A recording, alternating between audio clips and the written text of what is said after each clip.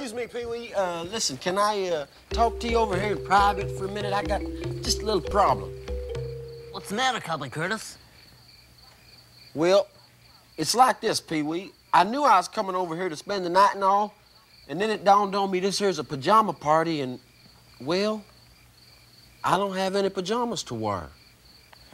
Well, what do you sleep in, Cowboy Curtis? Nothing. I sleep in the nude.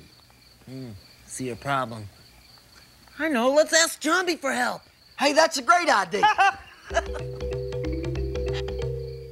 Wake, genie, if you hear, calling Jambi to appear. You rang? Hey, Jambi. Cowboy Curtis needs a pair of pajamas for the party. I wanted to make it my wish for the day. PJs, huh? Well, cowboy, what sort of fashion statement would you like to make? Trendy, traditional, sensuous, sensational? well, I, I kind of like something with a cowpoke flavor to it. Of course. Spirits of the tumbleweed, help our cowboy friend in need. See him fitted for the night in PJs that are out of sight.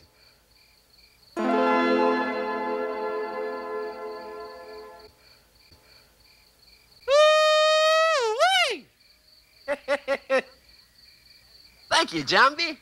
Anytime, cowboy. And thank you, Pee Wee. You're welcome, Cowboy Curtis.